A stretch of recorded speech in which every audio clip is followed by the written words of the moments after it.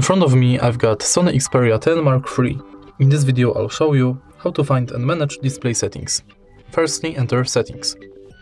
Go to display and here we've got all settings for our display. For example, we can change image quality settings, white balance, brightness level, we can turn on or off adaptive brightness, change sleep time between 15 seconds and 10 minutes, change font size,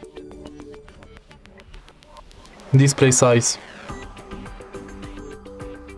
we can enable or disable dark theme, auto rotate screen, select lock screen preferences,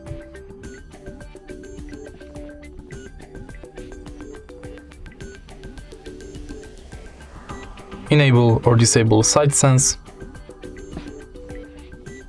one-handed mode,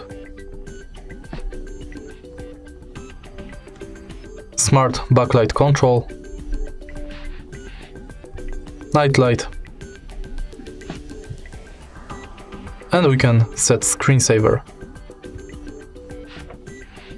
And that's all. If you find this video helpful, please leave like, comment and subscribe.